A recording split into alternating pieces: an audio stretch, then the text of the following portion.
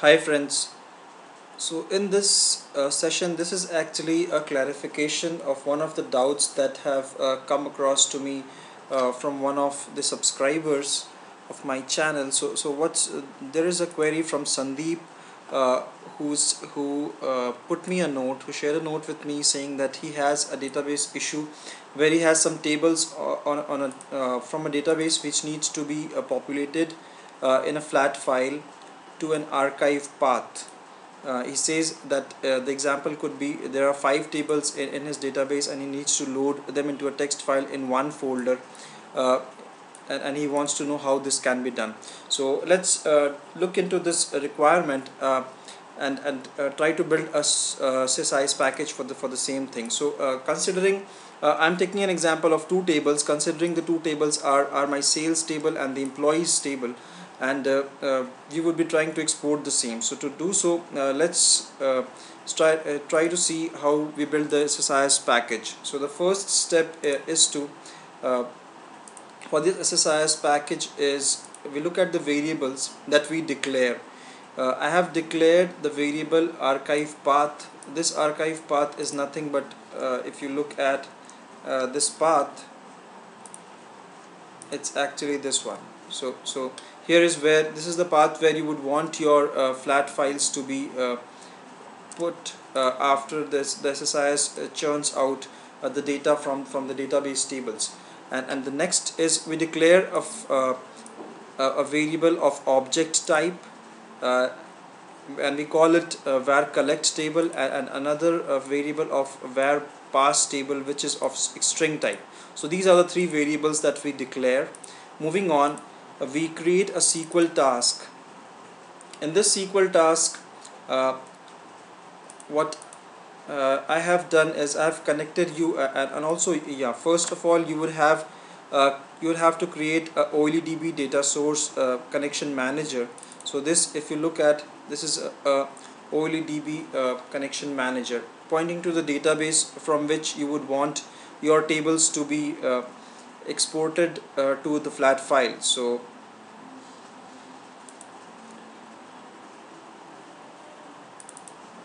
right so this is uh, this is my uh, server and the database which uh, I would be connecting to. Next I have a SQL task which uh, uses the same connection manager that I have uh, and use the query. Uh, so this is the query for uh, pulling the table. So you can put the table's name directly and uh, uh, put the in this query this would give you uh, the names of the table in this format. So this is one way. You put it a- and also the result set, set part set it to full res- full result set. And uh, in the result set mapping map this result set. Remember since uh, it's an OLEDB connection you put it to 0 set this value to 0 and and map it to the variable which is uh, of object type. I mean if you remember we had uh, declared a variable of object type uh, called the cut uh, collect table. So map it and then set it okay. Next is the for each loop. Pull down the for each loop uh, container. Open this. And in the collection use for each ADO enumerator. Use uh, for each ADO enumerator and uh, use the variable source variable as the collect table which was of object type. Rows in the first table and then map the variable I mean the object variable to that of the pass table variable and with the index of 0 so that uh, so that each of the values that is actually it will loop loop across the values which means that these these value if, if there are five values it will loop across each of these this uh, value right? So uh, map it across and put it okay. And within within the for each loop we have a SQL task now what does this SQL task do, uh, do is there is no result set as such. Only there are parameters parameter mapping which are input parameters. The parameters are the table name and the archive path. Remember since it's again a OLEDB connect, connection the SQL uh, mapping of parameter mapping will uh, will take will not take the name but will take 0 and 1 that is how you know you map parameters so this is you you'll also learn to map parameters in SQL task and next you have this SQL string which is actually using will come to the heart of it. This is the SQL string. So this is the SQL string that that is being used there. Uh, if you see. See this is the SQL string that is being used. Uh, what is this SQL string doing is we are leveraging the xp underscore command shell program and, and within which we are using the BCP utility. If you remember my my article on, on, on BCP utility, we are leveraging the same and we are running it from, from the uh, SQL server. Remember for that, uh, just check your SQL server to see if the value of XP command shell is set to be 1. This value should be uh, configured value should be set to be 1 if it is not so you can use this command and configure it and then reconfigure your server uh, so this is uh, a dynamic you know this is the string that would BCP out your table name uh, and the path with the table name .txt so this is uh, your string. So that's your SSIS package for you. Now if you run it this is the folder where we are going to export the data.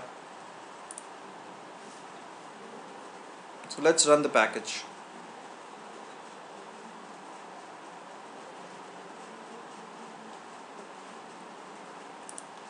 did we miss it out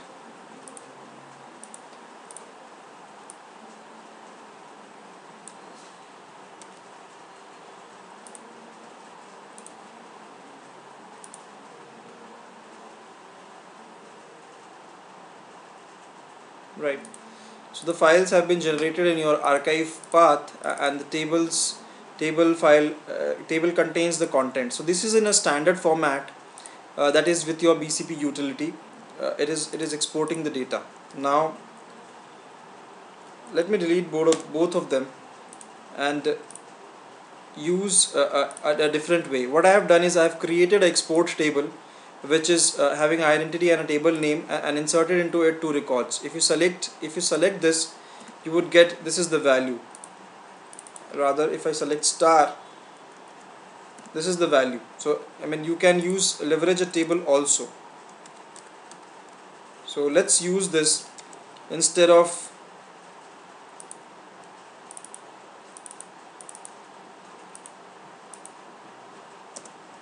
let me use this.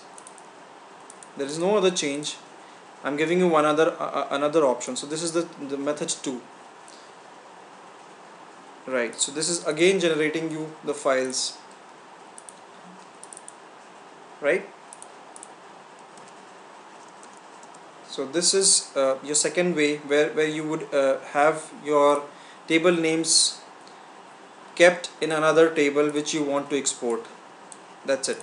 Now let's get back to the more conventional way of SSIS which is without the BCP utility. Uh, so here just I have a sequence container and I have used a DFT data flow task. Data flow task where I have created two threads one of them is for the employee. This is the query for selecting the data from employee table and it maps down to your employee flat file. This is the source. If you look at this is uh, where I have picked it from and next the, the destination is flat file destination. And and for flat file destination uh, you have to create a connection manager. So if you edit this you would see the connection manager of for the flat file. So so this is the flat file and where you would hard code or, or, or map it. This is this is not a dynamic solution but this is a hard coded solution. So which has uh, the path where the file needs to be kept and uh, the column mapping and the delimiters. But the only advantage that you get is is you can have it in a more customized way. I mean you will have uh, you uh, BCP is kind of standard for for uh, most of the things uh, in, in RDBMS yet this would give you the column names and also the delimiters that you would want carriage uh, or vertical bar between the data. So here we are using the connection manager and mapping and we are mapping the data. Again uh, we are use, doing the same thing for sales table also. So that's your sales table with the connection manager of sales tables being like this. That's it. Uh, the only other thing that I, would want to point you out is uh, we have used multi-threading which means we could have used two data flow tasks containing threads uh, of source and destinations. If you see a data flow task uh, property you would find engine threads. So this is uh, set to 10 by default uh, uh, which uh, we are leveraging here which means both of these threads these threads will be running in parallel I mean uh, concurrently. If we use to do two data flow tasks uh, it would be another story. So so this is one of the things that I wanted to show. Next we are let's run it and, and generate the data as you can see we have generated the data but this data that has been generated will be more customized in terms of delimiters and and also the column names so that will be uh, the difference I hope uh, this is uh, helpful to you Sandeep. Thank you so much.